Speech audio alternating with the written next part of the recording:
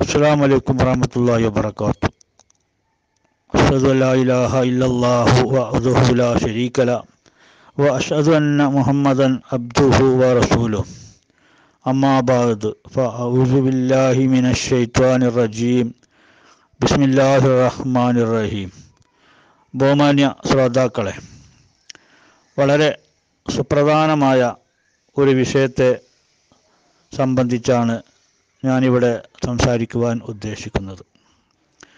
മുഹമ്മദ് മുസ്തഫ സല്ലല്ലാഹു അലൈഹി വസല്ലമ തിരുമേനി അവസാന കാലഘട്ടത്തിൽ തന്റെ ഉമ്മത്തിൽ ആഗതരാകുന്ന മഹ്ദി മസീന്റെ കാലഘട്ടത്തിൽ ദജ്ജാലിന്റെ പുറപ്പാട് ഉണ്ടാകുമെന്നും ദജ്ജാലിനെ നേരിടുവാൻ വേണ്ടി അള്ളാഹു മഷീബിന് മറിയമിനെ ഭൂമുഖത്തേക്ക് അയക്കുമെന്നും മുസ്ലിം ലോകം വിശ്വസിക്കുന്നു. ആ ആഗതരാകുന്ന മഷീഹിബിന് മറിയം ആകാശത്ത് ജീവിച്ചിരിപ്പുണ്ട്. അദ്ദേഹം തന്നെയാണ് ഭൂമുഖത്തേക്ക് ഇറങ്ങി വരേണ്ടതെന്നും ആ സമയത്ത് ദജ്ജാൽ എന്ന ഒരു ഭയങ്കരമായ ഫിത്തിന ഭൂമുഖത്ത് നിലനിൽക്കുമെന്നും ഈസബിന് മറിയം ഇറങ്ങിക്കൊണ്ട് ദജ്ജാലിനെ വധിക്കും എന്നുള്ളത് ഭൂരിപക്ഷ മുസ്ലിമീങ്ങളുടെ വിശ്വാസമാണ്.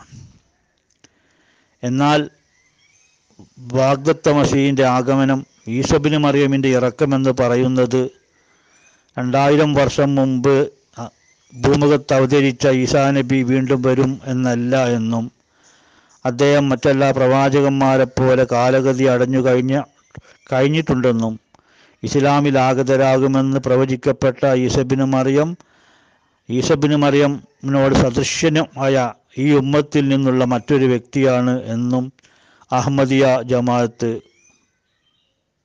പരിശുദ്ധ ഖുർആാന്റെയും തിരു അദീസുകളുടെയും പിന്തുണയോടുകൂടി ലോകത്ത് പ്രഖ്യാപിച്ചുകൊണ്ടിരിക്കുന്നു. ദജാൽ എന്ന് പറയുന്നത് നബിതിരുമേനി വിവരിച്ചിട്ടുള്ള വിവരണങ്ങൾ പ്രതീകാത്മകമായ വിവരണങ്ങളാണെന്നും സ്വപ്ന ദർശനത്തിൽ കണ്ട ദൃശ്യങ്ങളുടെ അടിസ്ഥാനത്തിലുള്ള വിവരണമാണ് എന്നും ആ ദജാൽ ഇന്ന് ഭൂമുഖത്ത് വെളിപ്പെട്ടു കഴിഞ്ഞിട്ടുള്ള പാശ്ചാത്യ ക്രൈസ്തവ ശക്തികളുടെ ഫിത്തിനയെ സംബന്ധിച്ചാണ് എന്നും അഹമ്മദിയ പ്രസ്ഥാന സ്ഥാപകരും അഹമ്മദിയ ജമാഅത്തും ഉദ്ഘോഷിച്ചു കൊണ്ടിരിക്കുന്നു ഏതായാലും ഈ ദജാലിന്റെ യാഥാർത്ഥ്യം എന്താണ് എന്നാണ് ഇവിടെ വിവരിക്കുവാൻ പോകുന്നത്. അതുകൊണ്ട് ശ്രോതാക്കൾ ഈ കാര്യം ശ്രദ്ധ വളരെ നിറം പിടിക്കുന്ന വർണനകളാണ് യാഥാർത്ഥ്യം മനസ്സിലാക്കന്മാർ തങ്ങളുടെ വാർത്തകളെല്ലാം തന്നെ ദജ്ജാലിനെ സംബന്ധിച്ച്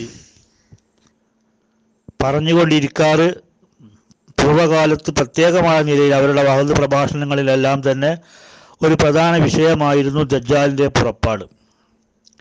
ഇവിടെ നബിതിരുമേനി സല്ലല്ലാഹു അലൈഹി വസല്ലമ ദജ്ജാലിനെ സംബന്ധിച്ച് നടത്തിയിട്ടുള്ള വിവരണങ്ങൾ.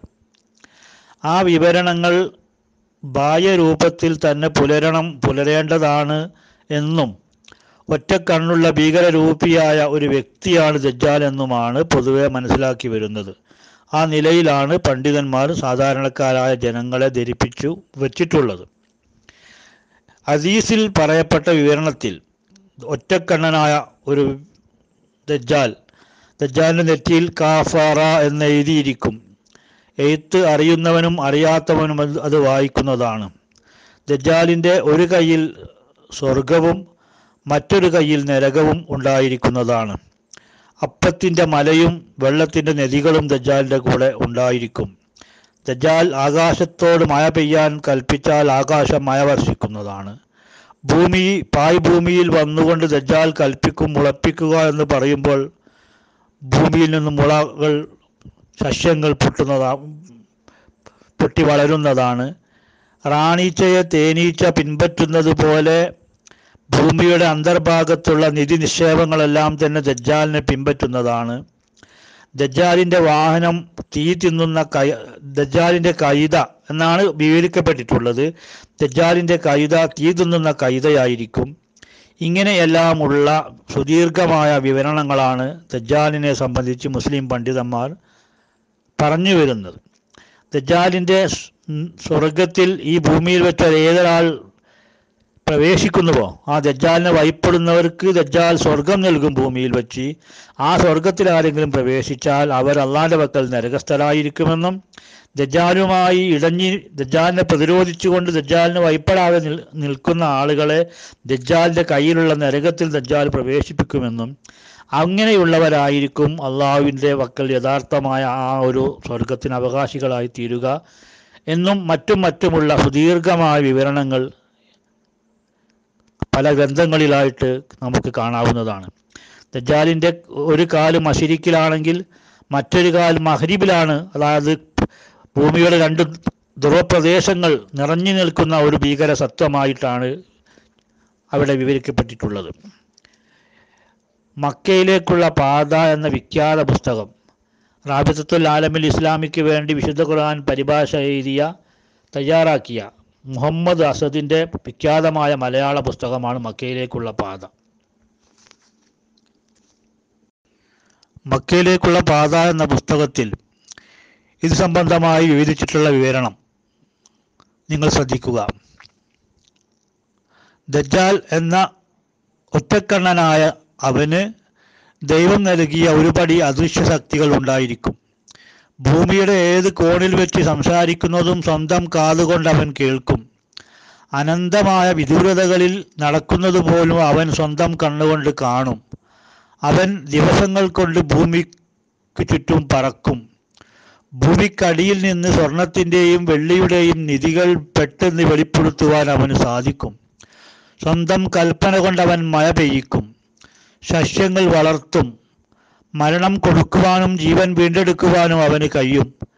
അങ്ങനെ വിശ്വാസത്തിന് ബലമില്ലാത്തവൻ അവൻ തന്നെയാണ് ദൈവമെന്ന് വിശ്വസിക്കുകയും അവന്റെ മുമ്പിൽ ഭയഭക്തിയോടെ സാഷ്ടാംഗം വീഴുകയും ചെയ്യും. പക്ഷേ വിശ്വാസത്തിന് ബലമുള്ളവൻ അവന്റെ നെറ്റിയിൽ ദൈവനിഷേധി എന്ന് ജ്വാല കൊണ്ട് എഴുതിയത് വായിക്കും. അങ്ങനെ വിശ്വാസം പരീക്ഷിക്കുവാനുള്ള ഉപായം മാത്രമാണ് ദജ്ജാൽ എന്ന് തിരിച്ചറിയുകയും ചെയ്യും.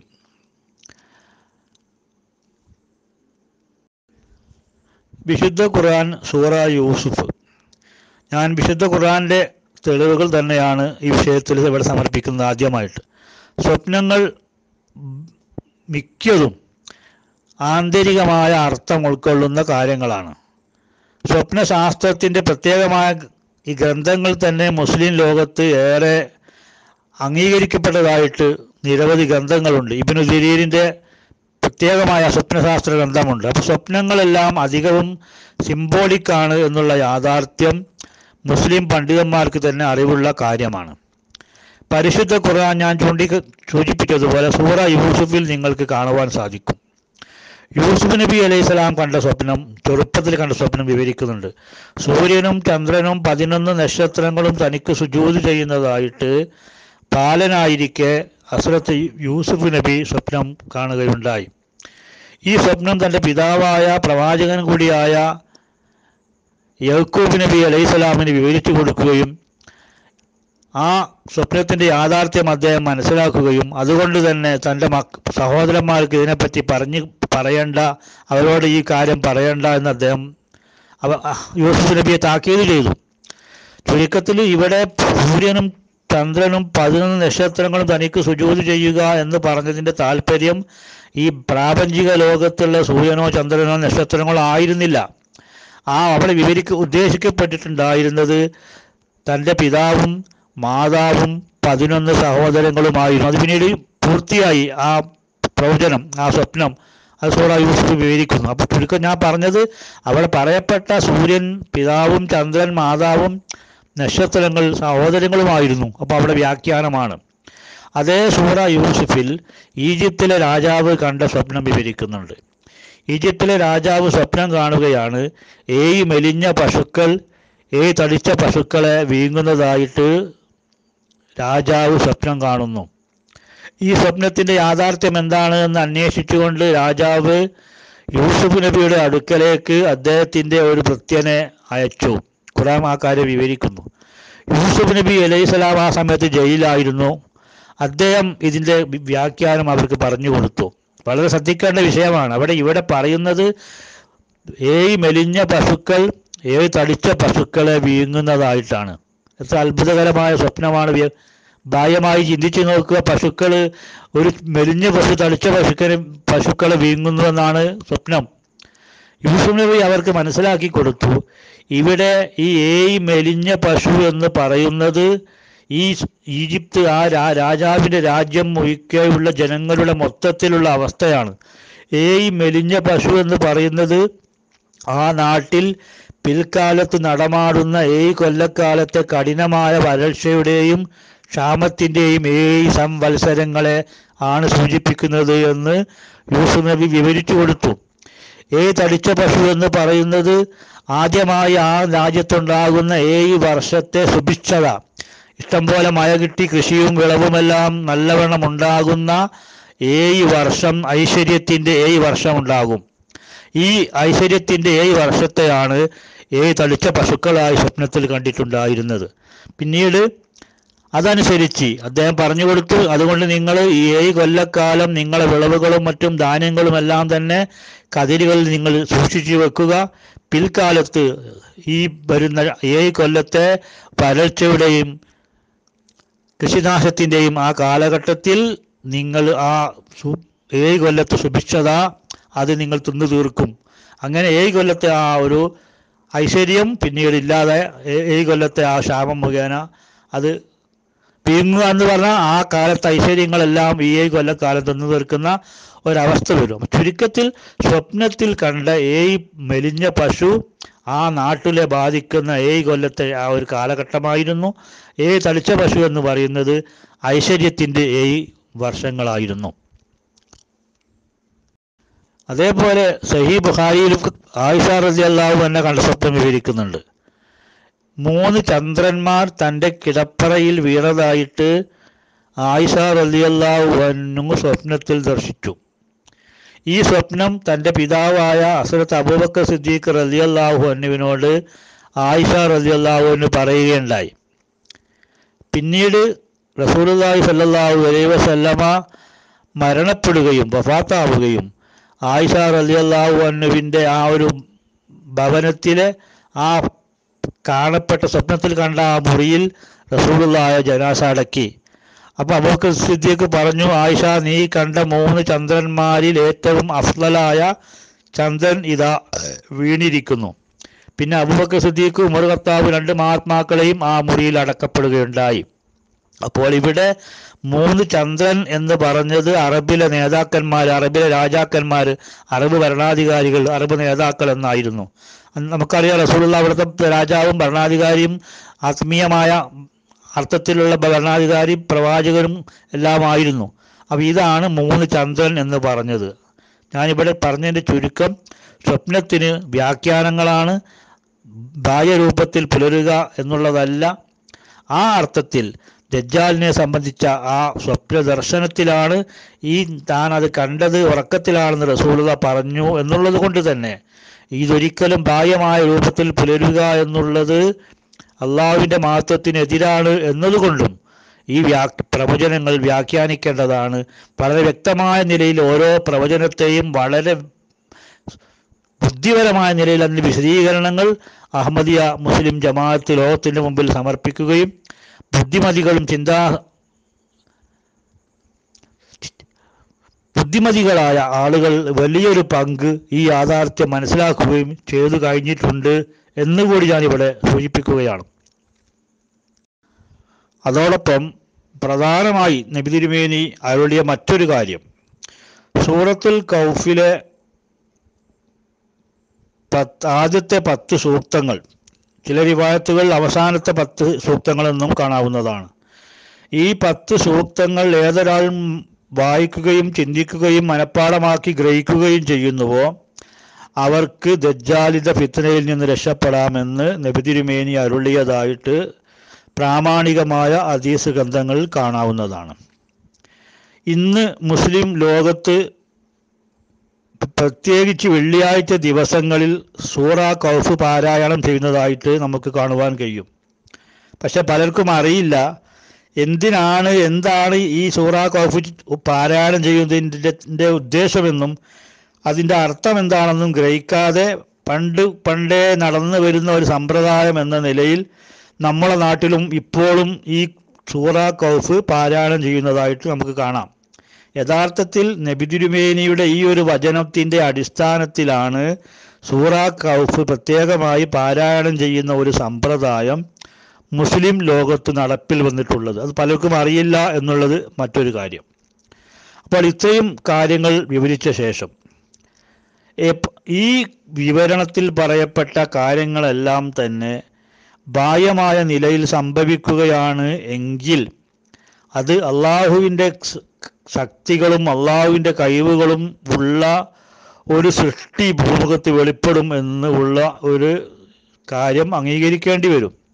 അത് അള്ളാഹുവിന്റെ മഹത്വത്തിന് ഭൂഷണമല്ല. നരകവും സ്വർഗവും കയ്യിൽ പിടിക്കുന്ന ഒരു ദജ്ജാൽ മരിച്ചവരെ ജീവിപ്പിക്കുന്ന ദജ്ജാൽ മഴ പെയ്യിപ്പിക്കുന്ന ദജ്ജാൽ ഭൂമിയിലെ നിധിക്ഷേപങ്ങൾ കേവലം വാക്കുകൊണ്ട് കൽപ്പന കൊണ്ട് പുറത്തെടുവി എടുപ്പിക്കുന്ന ഒരു ദിവ്യ ഒരു ശക്തി. ഇങ്ങനെയുള്ള ഒരു ദജ്ജാലാണ് ഭൂമുഖത്ത് വരുന്നതെങ്കിൽ അത് അള്ളാഹുവിന്റെ സിഫത്തുകളുള്ള ഒരു ജീവിയുടെ ഒരു സത്വത്തിന്റെ ഒരു ശക്തിയുടെ വരമാണ് എന്ന് അംഗീകരിക്കേണ്ടി വരും. അത് വിശുദ്ധ ഖുർആാന്റെ പാഠങ്ങൾക്ക് വിരുദ്ധമാണ്. അപ്പോൾ എന്താണ് ഈ ദജ്ജാലിന്റെ യാഥാർത്ഥ്യം? ആദ്യമായിട്ട് ഈ വിഷയത്തെ സംബന്ധിച്ച് നമുക്ക് പഠനം നടത്തുമ്പോൾ നാം കാണുന്ന ഒരു യാഥാർത്ഥ്യം എന്താണെന്ന് വെച്ചാൽ നബിതിരുമേനി ഈ വിഷയകമായി വിവരിക്കപ്പെട്ടിട്ടുള്ള വിവരണത്തിന്റെ ആദ്യ ഭാഗത്ത് തന്നെ റഹൈത്തു ഫിൽ മനാമി ഞാൻ ഉറക്കത്തിൽ കണ്ടു എന്ന് നിങ്ങൾക്ക് കാണുവാൻ കഴിയുന്നതാണ്. അപ്പോൾ റസൂലുള്ളാഹി സല്ലല്ലാഹു അലൈഹി വസല്ലമ സ്വപ്ന ദർശനത്തിലാണ് ഈ പറയപ്പെട്ടിട്ടുള്ള കാര്യങ്ങളെല്ലാം തന്നെ കണ്ടിട്ടുള്ളത്. ആ സ്വപ്ന ദർശനത്തിൽ കണ്ട കാര്യങ്ങളാണ് റസൂലുള്ളാഹി സല്ലല്ലാഹു അലൈഹി വസല്ലമ വിവരിച്ചിട്ടുള്ളത് എന്ന് ഹദീസുകളിൽ വളരെ സ്പഷ്ടമായി നമുക്ക് മനസ്സിലാക്കാം. ഈ ഒരു യാഥാർത്ഥ്യത്തിലേക്ക് ശ്രദ്ധ തിരിക്കുവാൻ മുസ്ലിം പണ്ഡിതന്മാരിൽ ഭൂരിപക്ഷം പേരും തയ്യാറാവാത്തത് കൊണ്ടാണ് ബാഹ്യരൂപത്തിലുള്ള ഒരു ദജ്ജാൽ വരുമെന്നുള്ള ഏറ്റവും പിയച്ച ഒരു വിശ്വാസത്തിൽ അകപ്പെടുവാനും. എന്നാൽ യഥാർത്ഥമായി ഇവിടെ വെളിപ്പെട്ട ദജ്ജാലിനെയും ആ ദജ്ജാലിനെ വധിക്കുവാൻ വേണ്ടി വന്നിട്ടുള്ള വാഗ്ദത്ത മഷീനെയും എല്ലാം തന്നെ സ്വീകരിക്കുവാൻ തടസ്സമായി നിൽക്കുന്നത് ഈ പ്രവചനത്തിലെ ഈ വചനങ്ങളെ ബാഹ്യരൂപത്തിൽ മനസ്സിലാക്കി എന്നുള്ളതാണ്. സ്വപ്ന ദർശനത്തിൽ ഉറക്കത്തിലാണ് ഞാൻ ഇതെല്ലാം കണ്ടതെന്ന് റസൂലുള്ള പറഞ്ഞിട്ടുണ്ട് എന്നിരിക്കെ ഇത് ബാഹ്യമായ രൂപത്തിൽ പുരരണമെന്ന് ശഠിക്കുന്നത് പരിശുദ്ധ ഇസ്ലാമിന്റെ അധ്യാപനങ്ങൾക്ക് വിരുദ്ധവും വേറെ അപകടകരമായ ഒരു വിശ്വാസവുമാണ് എന്ന യാഥാർത്ഥ്യം നാം മനസ്സിലാക്കേണ്ടിയിരിക്കുന്നു. ഇനി നബി തിരുമേനി ദജ്ജാൽ പുറപ്പെടുന്നത് ഏതൊരു കാലഘട്ടത്തിലാണ് എന്ന് നമുക്ക് മനസ്സിലാക്കി തന്നിട്ടുണ്ട്. എത്ര വ്യക്തമായിട്ടാണ് ആ പ്രവചനങ്ങൾ പൂർത്തിയായത് എന്ന് നാം മനസ്സിലാക്കുമ്പോൾ വളരെ ആശ്ചര്യകരമായ അത്ഭുതകരമായ പ്രവചനങ്ങളുടെ പൂർത്തീകരണമാണ് ഇവിടെ നടന്നിട്ടുള്ളത് എന്ന് നമുക്ക് മനസ്സിലാക്കാം. നബി തിരുമേനി സല്ലാഹു അലൈഹി വസല്ലമ അരുളിയതായിട്ട് ഒരുപാട് അതീസ് ഗ്രന്ഥങ്ങൾ രേഖപ്പെടുത്തപ്പെട്ടിട്ടുള്ള ഒരു കാര്യമാണ്. നബി തിരുമേനി പറയുകയാണ് മുസ്ലിം ഉമ്മത്തിനെ സഹാബാക്കളെ സംബോധന ചെയ്തുകൊണ്ട് നിങ്ങൾക്കെതിരിൽ ഒരു കാലഘട്ടത്തിൽ നിങ്ങൾ ജസീർ ജസീറത്തുൽ അറബുമായി യുദ്ധം ചെയ്യേണ്ടി വരും. അവർ നിങ്ങൾക്കെതിരിൽ വരും. നിങ്ങൾ അവർക്കെതിൽ യുദ്ധം ചെയ്യും. അള്ളാഹു അവരുടെ മേൽ നിങ്ങൾക്ക് വിജയം നൽകുന്നതാണ്. പിന്നീട് നബി തിരുമേനി സല്ലല്ലാഹു അലൈഹി പറയുകയാണ് അതിനുശേഷം നിങ്ങൾ നേരിടേണ്ടി വരുന്നത് കിസ്ര പേർഷ്യൻ സാമ്രാജ്യത്തെ ആയിരിക്കും. അള്ളാഹു അവർക്കെതിൽ നിങ്ങൾക്ക് വിജയം നൽകുന്നതാണ്. ഈ രണ്ട് സംഭവം നമുക്കറിയാം. സഹു മക്കയിലെ കുഫാറുകൾ ഒന്നടങ്കം നബി തിരുമേനിക്കെതിരായി യുദ്ധത്തിന് വരികയുണ്ടായി. അഹ്സാബ് യുദ്ധത്തിന്റെ ചരിത്രം നമ്മൾക്കറിയാം. തുടർന്ന് അറബികളുമായി മുസ്ലിങ്ങൾക്ക് പോരടിക്കേണ്ടി വരികയും അങ്ങനെ അറബ് ജനത ഇസ്ലാമിന് മുമ്പിൽ കീഴടങ്ങുകയും പിൽക്കാലത്ത് അവരെല്ലാം തന്നെ ഇസ്ലാമിന്റെ അനുയായികളായി മാറിത്തീരുകയും ചെയ്തു. തുടർന്ന് അസരത്ത് ഉമരുബിൻ ഖത്താബിന്റെ കാലഘട്ടത്തിൽ പേർഷ്യൻ സാമ്രാജ്യവുമായി അഗ്നി ആരാധകരായ ഇറാൻ സാമ്രാജ്യവുമായി മുസ്ലിമുകൾ ഏറ്റുമുട്ടുകയും പരിപൂർണമായ നിലയിൽ ഈ സാമ്രാജ്യം മുസ്ലിങ്ങൾക്ക് കീഴടങ്ങുകയും ചെയ്തു. അന്ന് നബി തിരുമേനിയുടെ പ്രവ മറ്റൊരു പ്രവചനമായിരുന്നു സുറാഖത്ത് ബിൻ മാലിക്കിന്റെ കയ്യിൽ കിസ്രായുടെ വളകൾ അണിയപ്പെടും എന്നുള്ളത്. അങ്ങനെ കിസ്ര സാമ്രാജ്യം കീഴടങ്ങിയ ശേഷം ഉമർ ബിൻ ഖത്താബ് റലിയല്ലാഹുഹന്നു സുറാഖത്ത് ബിൻ മാലിക്കിനെ വിളിച്ചു വരുത്തുകയും ആ നബി തിരുമേനിയുടെ പ്രവചനം ബാഹ്യമായ രൂപത്തിൽ തന്നെ സാക്ഷാത്കരിക്കുവാൻ വേണ്ടി സുറാഖത്ത് ബിൻ മാലിക്കിന്റെ കയ്യിൽ കിസ്രായുടെ വാളുകൾ അണിയിക്കുകയും ചെയ്തു. ഞാനിവിടെ സൂചിപ്പിച്ചത് ആ രണ്ട് പ്രവചനവും അങ്ങനെ വളരെ പെട്ടെന്ന് തന്നെ പൂർത്തിയാവുകയുണ്ടായി. പിന്നീട് നബി തിരുമേനി പറഞ്ഞിട്ടുണ്ടായിരുന്നത് പിന്നെ നിങ്ങൾക്ക് നേരിടേണ്ടി വരിക. റോമക്കാരെ ആയിരിക്കുമെന്നും പറഞ്ഞ നബി തിരുമേനി ഒരൊറ്റ തവണയായ യുദ്ധത്തിൽ ഒരിക്കലും റോമക്കാരെ കീഴടക്കാൻ സാധ്യമല്ല എന്ന സൂചന നൽകിക്കൊണ്ട് നിരന്തരമായി റോമക്കാരുമായി ഏറ്റുമുട്ടേണ്ടി വരുന്ന കാര്യങ്ങളെ സംബന്ധിച്ച് നബി തിരുമേനി പറയുകയും അങ്ങനെയുള്ള ആ പോരാട്ടത്തിലെ പോരാളികൾക്ക് പ്രത്യേകമായ സുവിശേഷം അറിയിക്കുകയും അവർക്ക് അള്ളാഹുവിന്റെ പ്രത്യേകമായ അനുഗ്രഹമുണ്ട് എന്ന് അരുളുകയുണ്ടായി. അത് വളരെ വിശദമായി തന്നെ വിവിധ കാലഘട്ടങ്ങളിൽ റോമക്കാരുമായി നടക്കേണ്ടി വരുന്ന യുദ്ധത്തെ സംബന്ധിച്ച് നബി തിരുമേനി അവിടെ സൂചിപ്പിക്കുകയുണ്ടായി.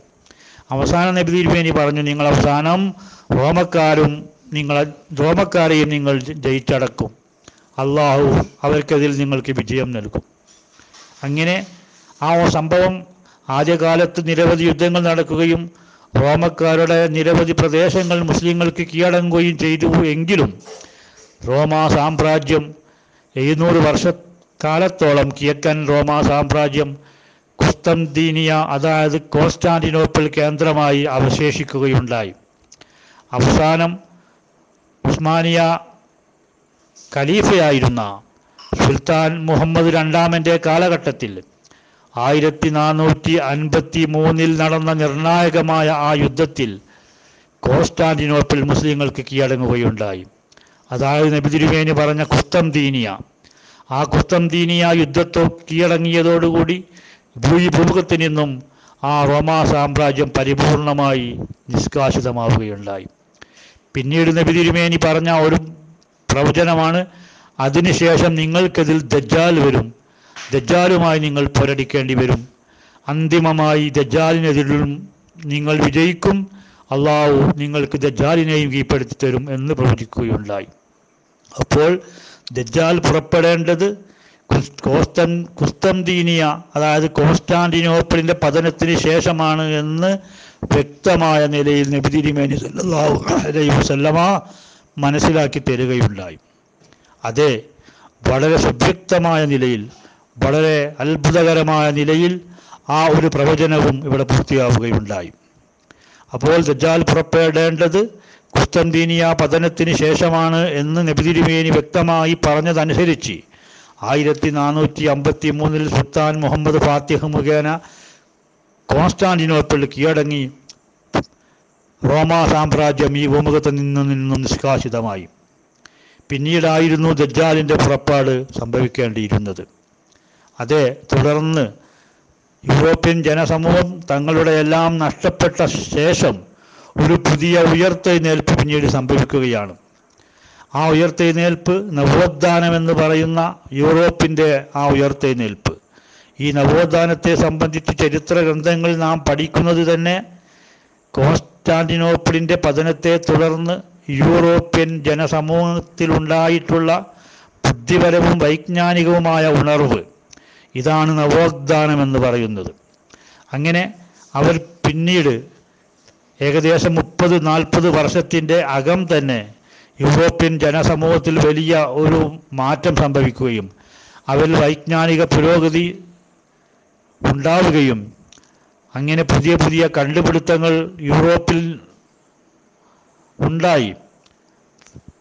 ഫാക്ടറികൾ രൂപം കൊണ്ടു പുതിയ പുതിയ ഉൽപ്പന്നങ്ങൾ അവർ കണ്ടെത്തി അവർ വെടിക്കോപ്പ് കണ്ടെത്തി പീരങ്കി കണ്ടെത്തി അങ്ങനെ അവർ പതുക്കെ പതുക്കെ ഒരു വലിയ ലോകശക്തിയായി ഉയർത്തെഴുന്നേൽക്കുന്ന കാഴ്ചയാണ് പിന്നീട് കാണുവാൻ കഴിയുന്നത്. ആയിരത്തി നാനൂറ്റി തൊണ്ണൂറ്റി എട്ട് ആയപ്പോഴേക്ക് ഏകദേശം നാൽപ്പത്തി അഞ്ച് വർഷമായപ്പോഴേക്ക് അവരൊരു അധിനിവേശ ശക്തിയായി ഉയർത്തെഴുന്നേൽക്കുന്ന കാഴ്ചയാണ് പിന്നീട് ലോകം കണ്ടത്. ആയിരത്തി നാനൂറ്റി തൊണ്ണൂറ്റി എട്ടിൽ വാസ്കോഡഗാമ കോഴിക്കോട് കപ്പലിറ കപ്പൽ ഇറങ്ങുകയുണ്ടായി. അതായത് ഈ വൈജ്ഞാനിക പുരോഗതി ശാസ്ത്രീയമായ പുതിയ പുതിയ കണ്ടുപിടുത്തങ്ങൾക്കും തുടർന്ന് പുതിയ പുതിയ വ്യാ- വ്യവസായ ശാലകളുടെ ആരംഭത്തിനും കാരണമാവുകയും അങ്ങനെ തങ്ങളുടെ വ്യവസായശാലയിൽ ഉൽപ്പാദിപ്പിക്കപ്പെടുന്ന ഉൽപ്പന്നങ്ങൾക്ക് വിപണി കണ്ടെത്തേണ്ടതും അതോടൊപ്പം ഈ വ്യവസായശാലകളിലേക്ക് ആവശ്യമായ അസംസ്കൃത വസ്തുക്കൾ ലഭ്യമാ ലഭ്യമാക്കേണ്ടതും അനിവാര്യമായി വരികയും അങ്ങനെ ഈ യൂറോപ്യൻ രാജ്യങ്ങൾ പ്രധാനമായി സ്പെയിൻ പോർച്ചുഗൽ ഫ്രാൻസ് പിന്നീട് ബ്രിട്ടൻ തുടങ്ങിയ രാജ്യങ്ങളിൽ പോപ്പിമാരുടെ പ്രത്യേകമായ അനുഗ്രഹ ആശിസ്സുകളോടുകൂടി കച്ചവട സംഘങ്ങളായി രജിസ്റ്റർ ചെയ്യപ്പെടുകയും ലോകത്തിന്റെ നാനാഭാഗത്തേക്കും സഞ്ചാരം ആരംഭിക്കുകയും രാജ്യങ്ങളിൽ നിന്നും രാജ്യങ്ങളിലേക്ക് അവർ സഞ്ചരിച്ചു. അങ്ങനെയാണ് ആയിരത്തി നാനൂറ്റി തൊണ്ണൂറ്റി എട്ടിൽ വാസ്കോഡ് ഗാമ കാപ്പാട് കപ്പലിറങ്ങുന്നത്. ഇതോടുകൂടിയാണ് ഈ പറയപ്പെട്ട ദജ്ജാലിയൻ ശക്തി എന്ന് പറയുന്ന ഈ പാശ്ചാത്യ ശക്തികളുടെ ലോക സഞ്ചാരം ആരംഭിക്കുന്നത്. അങ്ങനെ ലോകത്ത് അമേരിക്ക ആസ്ട്രേലിയ ആഫ്രിക്കൻ ഭൂഖണ്ഡം ഇവിടങ്ങളിലെല്ലാം തന്നെ ഈ ജനസമൂഹം കച്ചവട സാമാനങ്ങളുമായി കച്ചവട സംഘമെന്ന നിലയിൽ സഞ്ചരിക്കുകയും ആ രാജ്യങ്ങളിലുള്ള ഭരണാധികാരികളുമായിട്ടെല്ലാം തന്നെ ചില ഉടമ്പടികൾ മുഖേന കച്ചവട ഉടമ്പടികൾ മുഖേന ആദ്യമായി അവരവിടെ ചുവടുറപ്പിക്കുന്നു. അതോടൊപ്പം അവരുടെ കൂടെ മിഷനറിമാർ മതപ്രബോധകരെയും അവർ കൂടെ കൂട്ടുകയാണ്. അവർ പെന്ന് താവളമടിച്ച ഓരോ രാജ്യങ്ങളിലും ഇവയുടെ പ്രത്യേകമായ പിന്തുണയോടുകൂടി മതപ്രബോധനം ക്രൈസ്തവ പ്രബോധനം ആരംഭിക്കുന്നു. കാലാന്തരേണ ആ രാജ്യങ്ങളുടെ ഭരണാധികാരം തന്നെ അവർ കീഴടക്കുന്നു. ഇത് നമുക്കെല്ലാം വ്യക്തമായി അറിയുന്ന ഒരു കാലം ഒരു കാര്യമാണ്. അങ്ങനെ പതിനാറാം നൂറ്റാണ്ടിന്റെ ആദ്യ കാലഘട്ടം മുതൽ പത്തൊമ്പതാം നൂറ്റാണ്ടിന്റെ അവസാന കാലഘട്ടം വാഗ്ദത്ത മസീഹ് അലൈഹി സ്വലാമിന്റെ ആ കാലഘട്ടം വരെ ലോകത്തിന്റെ നാനാഭാഗങ്ങളിലേക്കും കച്ചവട സംഘമായി തുടക്കം കുറിച്ച മിഷനറിമാരെ കൂടെ കൂട്ടി മിഷനറി പ്രവർത്തനത്തോടുകൂടി തുടർന്നു വന്ന അവരുടെ ആ അധിനിവേശം രാജ്യങ്ങളുടെ ഭരണം കൈയടക്കുന്നതിലേക്കും ഇസ്ലാമിക രാജ്യങ്ങളിൽ ഓരോന്നോരോന്നായി കടന്നു കയറിക്കൊണ്ട് അവസാനം പത്തൊമ്പതാം നൂറ്റാണ്ടിന്റെ അവസാന കാലഘട്ടമായപ്പോഴേക്ക് കഹബത്തുള്ളായിൽ കുരിശും നാട്ടുമെന്ന് വീരവാദം ചെയ്യുന്ന വിധത്തിൽ മുസ്ലിം രാജ്യങ്ങൾ ഓരോന്നോരോന്നായി അധീനപ്പെടുത്തി ആ രാജ്യങ്ങളിലെല്ലാം തന്നെ ഇവരുടെ മിഷനറി പ്രവർത്തനങ്ങൾ മുഖേന ലക്ഷക്കണക്കിന് മുസ്ലിമീങ്ങളെ അവർ ക്രിസ്ത്യാനിയാക്കി മാറ്റി. പത്തൊമ്പതാം നൂറ്റാണ്ടിൽ മൊറോക്കോ എന്ന് പറയുന്ന മുസ്ലിം രാജ്യത്ത് ബർബേറിയൻസ് എന്ന് പറയുന്ന ജനസമൂഹം പ്രസിദ്ധമായ ഒരു ഗോത്രമാണ്. എൺപത് ലക്ഷം മൊറോക്കോയിലെ ബർബേറിയൻ മുസ്ലിംസിനെ ഫ്രഞ്ച് ക്രിസ്ത്യാനികളുടെ ഫലമായി ക്രിസ്തുമതത്തിലേക്ക് പരിവർത്തനം ചെയ്ത കാലഘട്ടമായിരുന്നു പത്തൊമ്പതാം നൂറ്റാണ്ടിന്റെ അവസാന ദശകങ്ങൾ. ഈ കാലഘട്ടത്തിലാണ് ഞാൻ നേരത്തെ സൂചിപ്പിച്ചതുപോലെ വില്യം ബോറോസ് എന്ന് പറയുന്ന വിഖ്യാതനായ ക്രൈസ്തവ മിഷനറി കഹബത്തുള്ള ഞങ്ങൾ കുരിശുനാട്ടുമെന്ന് വീരവാദം ചെയ്യുന്നത്. ഞാൻ പറഞ്ഞു വന്നത് കോൺസ്റ്റാന്റിനോപ്പിളിന്റെ പതനം റോമക്കാരുടെ പരാജയത്തിന് ശേഷം മുസ്ലിമീങ്ങൾക്ക് റോമക്കാർ കീഴടങ്ങി കഴിഞ്ഞാൽ പിന്നീട് ദജ്ജാൽ പുറപ്പെടും എന്ന് നബി തിരുമേനി പറഞ്ഞ ആ പ്രവചനം. വളരെ കൃത്യമായി തന്നെ കോൺസ്റ്റാന്റിനോപ്പിൾ പതനത്തിന് നാൽപ്പത് വർഷം പിന്നിട്ടപ്പോഴേക്ക് തന്നെ യൂറോപ്യന്മാർ വൈജ്ഞാനികവുമായ മണ്ഡലങ്ങൾ പുരോഗതി പ്രാപിച്ചു. പുതിയ പുതിയ കണ്ടുപിടുത്തങ്ങളും വ്യാവസായിക ഉൽപ്പന്നങ്ങളും എല്ലാം തന്നെ നേടി എടുത്തുകൊണ്ട് അതെല്ലാം സ്വായത്തമാക്കിക്കൊണ്ട് ഇതിന് ഇതെല്ലാം എടുത്ത് ലോക സഞ്ചാരം ആരംഭിച്ചു അപ്പോൾ ഈ ദജ്ജാൽ പുറപ്പെടേണ്ടത് ഏതൊരു സമയത്താണെന്ന് നബി തിരുമേനി പറഞ്ഞുവോ അതേ സമയത്താണ് ഈ പറയപ്പെട്ട സംഭവങ്ങളെല്ലാം നടന്നത് എന്നത് വളരെ വിസ്മയകരമായ നിലയിലുള്ള പ്രവചന പൂർത്തീകരണമാണ് എന്നുകൂടി നാം ഇവിടെ മനസ്സിലാക്കേണ്ടിയിരിക്കുന്നു. ഇനി ദജ്ജാൽ എന്ന വാക്കിന് ആധികാരികമായ അറബിക് ഡിക്ഷണറികൾ എന്തെല്ലാം അർത്ഥങ്ങൾ നൽകിയിരിക്കുന്നു എന്ന് നാം നോക്കുകയാണെങ്കിലും ഈ ദജ്ജാൽ എന്താണ് എന്നത് നമുക്ക് മനസ്സിലാക്കുവാൻ കഴിയുന്നതാണ്. അറബി ഭാഷയുടെ ഒരു പ്രത്യേകത കൂടിയാണ് വളരെ വിപുലമായ ആശയ സംവേദനത്തിനുള്ള പ്രത്യേകമായ കഴിവ് അറബി ഭാഷക്കുണ്ട്. അപ്പോൾ ദജ്ജാൽ എന്ന പദത്തിന്റെ അർത്ഥങ്ങൾ ഓരോന്ന് നോക്കുമ്പോഴും ഈ ജനസമൂഹത്തിൽ അത് ചേർന്നതായി നമുക്ക് കാണുവാൻ സാധിക്കും. ലിസാനുൽ അറബ് മുഫ്രദാത്ത് റാഗിബ് തുടങ്ങി ആധികാരികമായ അറബ് ഡിക്ഷണറികളെല്ലാം തന്നെ ദജ്ജാലിന് നൽകിയിട്ടുള്ള പ്രധാനമായ അർത്ഥങ്ങൾ നമുക്ക് പരിശോധിക്കാം. സാധാരണക്കാരായ ആളുകൾക്ക് പോലും അറിയാവുന്ന ഒരു അർത്ഥമാണ് ദജ്ജാൽ എന്ന് നമ്മൾ വിളിക്കും കള്ളം പറയുന്ന ആൾക്ക്. ദജ്ജാൽ എന്ന പദത്തിന്റെ പ്രഥമമായ അർത്ഥം ഏറ്റവും വലിയ ഭയങ്കരമായ നുണ പറയുന്നവൻ എന്നാണ്. നമുക്കറിയാം വിശുദ്ധ ഖുർആൻ അള്ളാഹുവിന് മകനുണ്ട് എന്ന വിശ്വാസത്തെ സംബന്ധിച്ച് എടുത്തു പറയുന്നത് തന്നെ അതേറ്റവും വലിയ കളവാണ് എന്നാണ്. ഏറ്റവും വലിയ കളവ് റഹ്മാനായ തന്റെ നാഥന് അള്ളാഹുവിനൊരു മകനുണ്ട് എന്ന് പറയുന്നതാണ്. അപ്പോൾ ഈ ക്രിസ്തീയ സമൂഹത്തിന്റെ മതപരമായ വിശ്വാസത്തെയും അവരുടെ ഡിപ്ലോമസിയിൽ അവർ സ്വീകരിക്കുന്ന കളവിനെയും വായ് വ്യാജത്തെയും എല്ലാം സൂചിപ്പിക്കുന്ന ഒരു പദമാണ് ഈ ഒരു ദജാലിന്റെ ഒന്നാമത്തെ അർത്ഥമായ ഏറ്റവും വലിയ നുണ പറയുന്നവനെന്ന്. അപ്പോൾ അവരുടെ മതവിശ്വാസം അള്ളാഹ്ക്ക് മകനുണ്ട് എന്ന് പറയുന്ന ഏറ്റവും വലിയ കളവാണ് അവരുടെ വിശ്വാസം. അതോടൊപ്പം അവർ തങ്ങളുടെ രാജ്യത്ത് അധിനിവേശത്തിന് വേണ്ടി പുറപ്പെട്ടുകൊണ്ട് ഓരോ രാജ്യത്തെ ജന ജനങ്ങളെയും ഭരണാധികാരികളെയും എല്ലാം തന്നെ വലിയ കള്ളം പറഞ്ഞുകൊണ്ട് വഞ്ചിച്ചുകൊണ്ടാണ് അവരുടെ ലക്ഷ്യം പ്രാപിച്ചത് എന്ന കാര്യവും കൂടി നമുക്കറിയാം.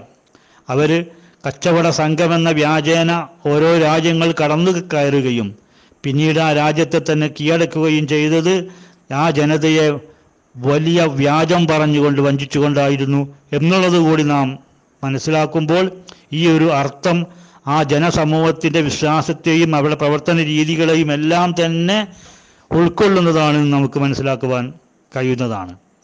മറ്റൊരർത്ഥം മറക്കുന്നവൻ മൂടുന്നവൻ എന്നാണ്. അതായത് ദജ്ജാൽ എന്ന പദം മൈലാഞ്ചി കൊണ്ട് മൂടുകയാണ്. ഒട്ടകത്തിന്റെ ശരീരം മൈലാഞ്ചി കൊണ്ട് മൂടുന്നതിന് ഈ ഒരു പദമാണ് ഉപയോഗിക്കുക. അതിന്റെ അർത്ഥം അതിന്റെ ഉള്ളിലുള്ള കാര്യത്തെ മറച്ചു വെച്ചുകൊണ്ട് പുറത്ത് മറ്റൊന്നിന് ഒന്ന് കാണിക്കുക. തങ്ങളുടെ ഉദ്ദേശം എന്താണ് എന്ന കാര്യം മറച്ചു വെക്കുക. ഈ രൂപത്തിലാണ് ഈ ഓരോ രാജ്യങ്ങളിലും ഇവർ അധിനിവേശം നടത്തിയിട്ടുള്ളത്. ആ രാജ്യങ്ങളെ തന്നെ ഒന്നടങ്കം വീങ്ങണമെന്നും അവരുടെ സമ്പത്ത് ഒന്നടങ്കം കൊള്ളയടിക്കണമെന്നും അവരുടെ ജനതയെ മതപരിവർത്തനത്തിന് വിധേയമാക്കണമെന്നുമുള്ള എല്ലാ ഉദ്ദേശങ്ങളെയും മൂടി മറച്ചു വെച്ചുകൊണ്ട് മറ്റൊരു രൂപത്തിലായിരുന്നു അവരുടെ അരങ്ങേറ്റമുണ്ടായത്. ഈ ഒരു സ്വഭാവത്തെയാണ് ഈ രണ്ടാമത്തെ അർത്ഥം നമുക്ക് മനസ്സിലാക്കി തരുന്നത്. മറ്റൊരർത്ഥം ലോകത്ത് സഞ്ചാരം നടത്തുന്നവൻ എന്നാണ്. അതായത് ഒരാൾ ലോകസഞ്ചാരം ചെയ്താൽ ദജലുർ റജു ദജലർ റജുലു എന്ന് പറയും. അതായത് ആ പുരുഷ ആ പുരുഷൻ ലോകസഞ്ചാരം ചെയ്തു. അപ്പോൾ ലോകത്ത് ചുറ്റി സഞ്ചരിക്കുന്നവൻ എന്നത് ദജ്ജാലിന്റെ മറ്റൊരർത്ഥമാണ്. അത് ഈ ജനസമൂഹം യൂറോപ്പിൽ നിന്നും ലോകത്തിന്റെ മുക്ക് മൂലകളിലെല്ലാം തന്നെ സഞ്ചരിച്ചു ലോകം മുഴുവനും കീഴടക്കി ലോകം മുഴുവനും വ്യാപിച്ചു എന്നുള്ളത് നമുക്കറിയാം. അപ്പോൾ ആ ഒരു അർത്ഥവും അവരിൽ പരിപൂർണമായി പൂർത്തിയായിരിക്കുന്നു. അതേപോലെ വലിയ കുബേരൻ വലിയ നിക്ഷേപകൻ എന്നെല്ലാമുള്ള അർത്ഥവും ദജാലിന് ഡിക്ഷണറികൾ നൽകപ്പെട്ടിരിക്കുന്നു. അത് അവർ പിന്നീട് വലിയ കുബേരന്മാരായി മാറി. ഇന്നും ആ യൂറോപ്യൻ ജനത തന്നെയാണ് ലോകത്തിന്റെ സമ്പത്തിന്റെ മഹാഭൂരിപക്ഷം കൈയടക്കി വെച്ചിട്ടുള്ളത്. മറ്റൊരർത്ഥം വലിയ ജനസഞ്ചയം ലോകത്തെ മൂടുന്ന തരത്തിലുള്ള വലിയ ജനസഞ്ചയത്തിന് ഈ പദം ഉപയോഗിക്കും. അത് ഇവർ പത്തൊമ്പതാം നൂറ്റാണ്ടിന്റെ അവസാന ദശകങ്ങളായതോടുകൂടി ഈ ജനസമൂഹം ഭൂമുഖത്തൊന്നടങ്കം വ്യാപിക്കുകയും ഭൂമുഖത്ത് മഹാഭൂരിപക്ഷം ഈ ഒരു ക്രൈസ്തവ വിശ്വാസികളായി മാറി മാറുകയും ചെയ്തു. ഇന്നും ലോക ജനസംഖ്യയിലെ വൽ സിംഹഭാഗവും ക്രിസ്തീയ വിശ്വാസക്കാരാണ് എന്ന് നമുക്ക് അറിയാവുന്ന കാര്യമാണ്. മറ്റൊരു വർത്ത ആറാമത്തെ അർത്ഥമായി ഡിക്ഷണറികൾ നൽകിയിട്ടുള്ളത് കച്ചവട സാധനങ്ങളുമായി ചുറ്റി സഞ്ചരിക്കുന്ന സാർത്ഥവാഹക സംഘം.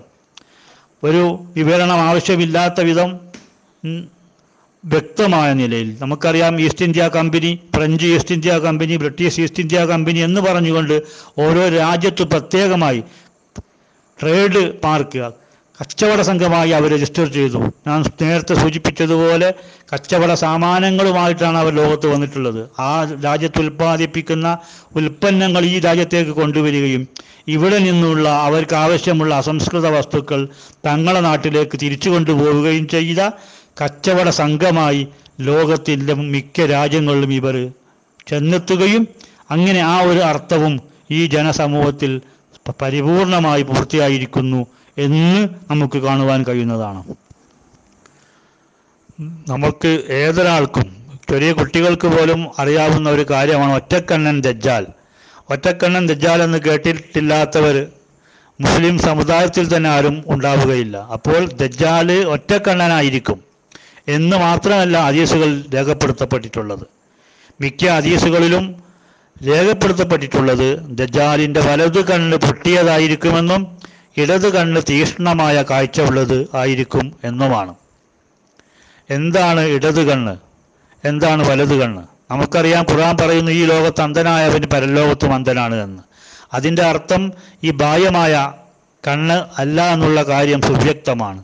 അപ്പോൾ കാര്യങ്ങൾ ഗ്രഹിക്കുവാനുള്ള ശേഷി അതാണ് ഇവിടെ കണ്ണ് എന്ന് പറയുന്നത്. അപ്പോൾ ഈ ലോകത്ത് അള്ളാഹുവിനെ ദർശിച്ചവൻ സത്യം ദർശിച്ചവൻ മാത്രമായിരിക്കും ആ പരലോകത്തും ആ നിലയിൽ എഴുന്നേൽപ്പിക്കപ്പെടുക എന്നാണ് ഖുർആൻ പറഞ്ഞതിന്റെ താല്പര്യം അപ്പോൾ കണ്ണ് എന്ന് പറയുന്നത് കാര്യങ്ങൾ കണ്ടറിയാൻ മനസ്സിലാക്കുവാനുള്ള ആ ഒരു ജ്ഞാനത്തിന്റെ കണ്ണാണ് ഇവിടെ ഉദ്ദേശിച്ചത് എന്ന കാര്യത്തിൽ ഒട്ടുമേ തർക്കമില്ലാത്ത കാര്യമാണ്. അപ്പോൾ വലത് കണ്ണ് എന്നും പൊട്ടിയതാണെന്നും ഇടത് കണ്ണ് കാഴ്ചയുള്ളതാണ് എന്നും ഇവിടെ പറയുകയുണ്ടായി. ഇടത് എന്ന് പറയുന്നത് പരിശുദ്ധ ഖുർആൻ തന്നെ നമുക്ക് മനസ്സിലാക്കി തരുന്നത് സൂറ അൽ വാക്കിയിൽ നമുക്ക് കാണുവാൻ കഴിയുന്നതാണ്. ഇടതുപക്ഷമെന്നും വലതുപക്ഷമെന്നും ആവർത്തിച്ച് ആവർത്തിച്ച് ഉപയോഗിച്ചതായിട്ട്.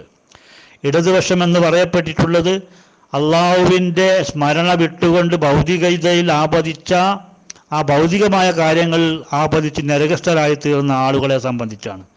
അപ്പോൾ ഭൗതികതയെ സൂചിപ്പിക്കുവാനാണ് ഇടത് എന്ന് ഉപയോഗിക്കുന്നത്. ആത്മീയതയെ സൂചിപ്പിക്കുവാനാണ് വലത് എന്ന് ഒന്ന് ഉപയോഗിക്കുന്നത്. സൂറ വാക്കിയയിൽ സ്വർഗസ്ഥരെ സംബന്ധിച്ച് വിവരിക്കപ്പെട്ടിട്ടുള്ളത് വലതുവശം എന്നാണ് നമ്മുടെ ഭാഷയിൽ നമുക്കറിയാം ഇടപതുവശം എന്ന് പറയുന്നത് ഭൗതിക കാര്യങ്ങൾക്ക് പ്രാമുഖ്യം കൊടുക്കുന്ന രാഷ്ട്രീയ സംഘടനയ്ക്ക് ഇടതുവശ പ്രസ്ഥാനം എന്ന് പറയാറുണ്ട്. വലതുവശം എന്ന് പറയുന്നത് മതപരമായ കാര്യങ്ങൾക്ക് പ്രാമുഖ്യം കൊടുക്കുന്നവരാണ്. അപ്പോൾ മതപരമായ വിഷയം ആത്മീയമായ കണ്ണ് അള്ളാഹുവിനെ കാണുവാനുള്ള കണ്ണ് ധാർമ്മികതയെ സംബന്ധിച്ച് മനസ്സിലാക്കുവാൻ ഉൾ- ഉൾക്കൊള്ളുവാനുള്ള ആ ഒരു അന്തർദൃഷ്ടി. അതില്ലാത്തവരായിരിക്കും ദജ്ജാലെന്നും ഭൗതികമായ കാര്യങ്ങൾ കണ്ടെത്തുവാൻ അറിയുവാൻ മനസ്സിലാക്കുവാൻ ഉള്ള കണ്ണ് തീഷ്ണമായിരിക്കുമെന്നാണ് ഇപ്പറഞ്ഞതിന്റെ അർത്ഥമെന്ന് ഏതൊരു ചിന്തകനും എളുപ്പത്തിൽ തന്നെ മനസ്സിലാക്കാം. നാം ഒന്ന് പരിശോധിക്കുക. ഈ യൂറോപ്പിന്റെ നവോത്ഥാനത്തെ തുടർന്ന് ഞാൻ പറഞ്ഞതുപോലെ പതിനാറാം നൂറ്റാണ്ട് മുതൽ ഇന്ന് കാണുന്ന ആധുനികമായ എന്തേതൽ ഏതേതെല്ലാം ഭൗതികമായ കണ്ടുപിടുത്തങ്ങളുണ്ടോ അതിന്റെ എല്ലാം ഉപജ്ഞാതാക്കൾ ഈ ഒരു പാശ്ചാത്യ ക്രൈസ്തവ ശക്തികളാണ് എന്നുള്ളത് ഏതൊരു കൊച്ചുകുട്ടിക്ക് പോലും അറിയാവുന്ന സത്യമാണ്. വൈദ്യുതി കണ്ടുപിടിച്ചതാരാണ്? തീവണ്ടി കണ്ടുപിടിച്ചത് ആരാണ് മോട്ടോർ വാഹനങ്ങൾ കണ്ടുപിടിച്ചതാരാണ്? വിമാനം കണ്ടുപിടിച്ചതാരാണ്?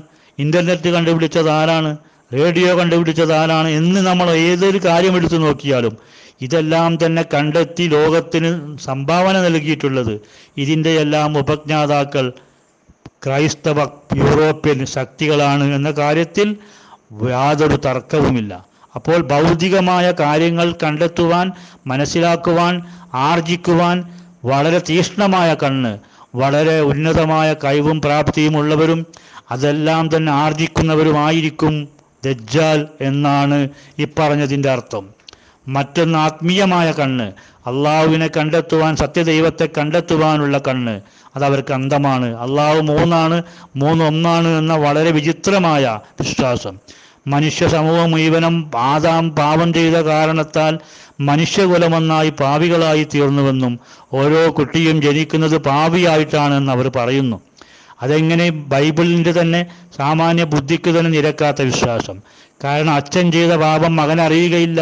അച്ഛൻ മുന്തിരി തിന്നാൽ മകന്റെ പല്ല് പൊളിക്കുകയില്ല എന്നൊരു ഭാഗത്ത് ബൈബിൾ തന്നെ പറയുമ്പോൾ ആ ബൈബിളിന്റെ പാഠങ്ങൾക്കും സാമാന്യ ബുദ്ധിക്കും നിരക്കാത്ത പാപ സംക്രമ വിശ്വാസവും മറുഭാഗത്ത് പാപപരിഹാര സിദ്ധാന്തം നിരപരാധിയായ യേശു കുരിശിൽ മരിച്ചതുകൊണ്ട് എങ്ങനെ മാനവകുലത്തിന്റെ പാപം പരിഹരിക്കുമെന്ന് ചോദിച്ചാൽ യുക്തിപൂർവമുള്ള ഒരു മറുപടി പറയുവാൻ ഈ ക്രൈസ്തവ ശക്തികൾക്ക് സാധ്യമല്ല.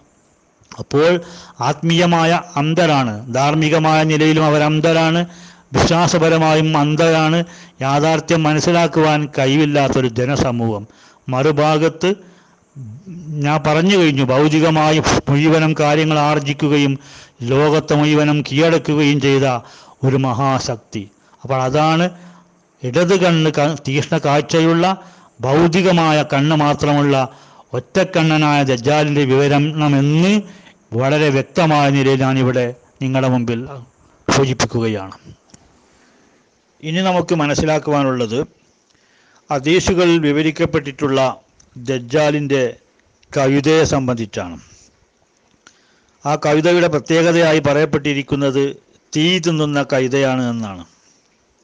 നമുക്കറിയാം ഒട്ടകം കൈത കുതിര ഇതെല്ലാം തന്നെ ആ കാലഘട്ടത്തിൽ നിബിതിരുമേനി സല്ലല്ലാഹു അലൈഹി വസ്ലമയുടെ കാലഘട്ടത്തിൽ ജനങ്ങൾ വാഹനമായി ഉപയോഗിക്കുന്ന മൃഗങ്ങളാണ്. അവയൊന്നും തന്നെ തീ തിന്നാറില്ല എന്ന് നമുക്കറിയാം. അപ്പോൾ ഈ ഒരു കവിത എന്തായിരിക്കും? ഇനി അത് മാത്രമല്ല ഈ ബാഹ്യമായ നിലയിൽ ദജാലിനെ മനസ്സിലാക്കിയ ആളുകളുടെ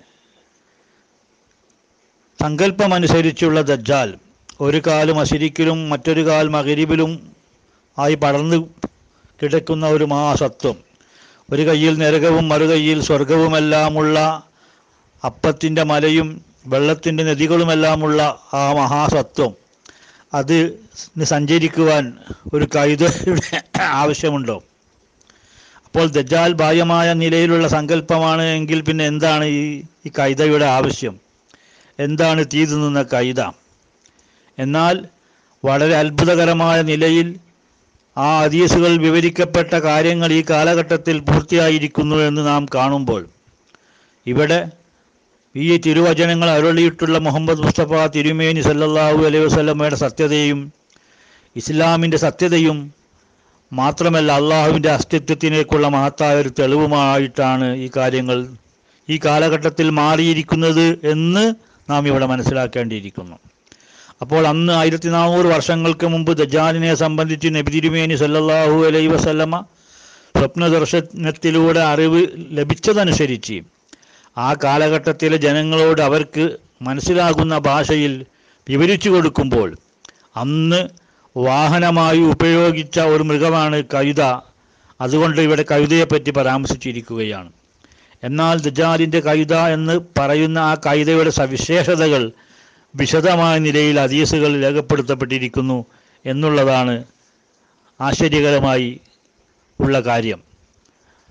പറയുകയാണ് ജനങ്ങൾക്ക് അതിൽ പ്രവേശിക്കാൻ പ്രത്യേക വാതിലുകൾ ഉണ്ടായിരിക്കും. എങ്ങനെ? ദജാലിന്റെ കൈതയുടെ ഉള്ളിലേക്ക് പ്രവേശിക്കുവാൻ പ്രത്യേക വാതിലുകൾ ഉണ്ടായിരിക്കും. ഈ വാതിലുകളിലൂടെ ആയിരിക്കും ജനങ്ങൾ അതിൽ പ്രവേശിക്കുക. അല്ലാമ മുഹമ്മദ് ബാക്കിർ റഹമത്തുല്ലായി അലയുടെ ബിഹാറുൽ അൻവാറിൽ ഈ കാര്യം രേഖപ്പെടുത്തിയിരിക്കുന്നു. വീണ്ടും പറയുന്നു അതിന്റെ വയറ് പ്രകാശപൂർണമായിരിക്കും. സൗകര്യപ്രദമായ ഇരി ഇരിപ്പിടങ്ങൾ അതിനകത്തുണ്ടാവും. എങ്ങനെ? ഈ കവിതയുടെ കാര്യമാണ് പറയുന്നത്. അവ കവിത ബാഹ്യമായ സങ്കല്പമനുസരിച്ചുള്ള കവിതയാണോ എന്ന് ശ്രോതാക്കൾ തീരുമാനിക്കുക. ഇതും ബിഹാറുൽ അൻവാറിൽ രേഖപ്പെടുത്തിയിരിക്കുന്ന കാര്യമാണ്.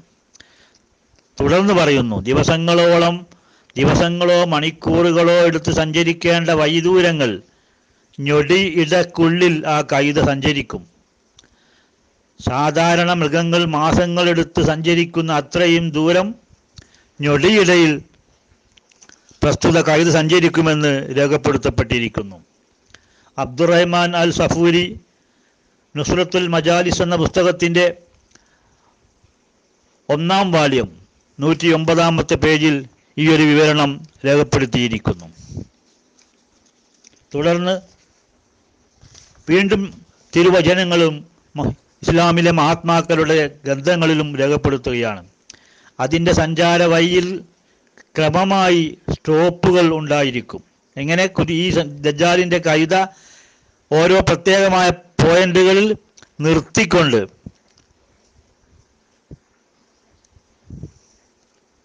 ആ നിർത്തുന്ന എല്ലാ വഴികളിൽ വെച്ചും ജനങ്ങളെ അതിൽ കയറുവാൻ ക്ഷണിക്കുന്നതാണ് അപ്പം ഈ ദജാലിന്റെ കൈതക്ക് പ്രത്യേകം ആ സ്റ്റോപ്പുകൾ ഉണ്ടാവും. ആ സ്റ്റോപ്പുകളിൽ വെച്ച് ജനങ്ങളെ ആ കൈതയുടെ ഉള്ളിൽ കയറുവാൻ വേണ്ടി ക്ഷണിക്കുന്നതാണ് എന്നും അല്ലാമ മുഹമ്മദ് ബാക്കിർ ബിയാറുൽ അൻവാർ എന്ന ഗ്രന്ഥത്തിൽ രേഖപ്പെടുത്തുകയാണ്. വീണ്ടും പറയുന്നു ആ കൈത തീയാണ് ഭക്ഷിക്കുക എങ്കിലും അതിന്റെ വയറിന്റെ ഉള്ളിൽ സഞ്ചരിക്കുന്നവർക്ക് ചൂട് ഏൽക്കുകയില്ല. ഇതും അല്ലാമ മുഹമ്മദ് ബാഹിർ റഹമത്തുല്ലാഹി അലൈ അദ്ദേഹത്തിന്റെ ബിഹാറുൽ അൻബാറിൽ രേഖപ്പെടുത്തിയിരിക്കുകയാണ്. ഇനിയും സംബന്ധമായിട്ടുള്ള വിവരണങ്ങൾ നമുക്ക് കാണുവാൻ സാധിക്കും. സയ്യിൽ ബുഹാരി ഉൾപ്പെടെയുള്ള ഗ്രന്ഥങ്ങളിൽ അതിന്റെ വിവരണങ്ങൾ നമുക്ക് കാണാം. ഈ കവിതയ്ക്ക് കടലിലൂടെയും സഞ്ചരിക്കാൻ കഴിയും. സമുദ്രത്തിലെ തിരമാലകളിലൂടെ ഭൂഖണ്ഡങ്ങളിൽ നിന്ന് ഭൂഖണ്ഡങ്ങളിലേക്ക് അത് സഞ്ചരിക്കുവാൻ അതിന് സഞ്ചരിക്കുവാൻ കഴിയുന്നതാണ്.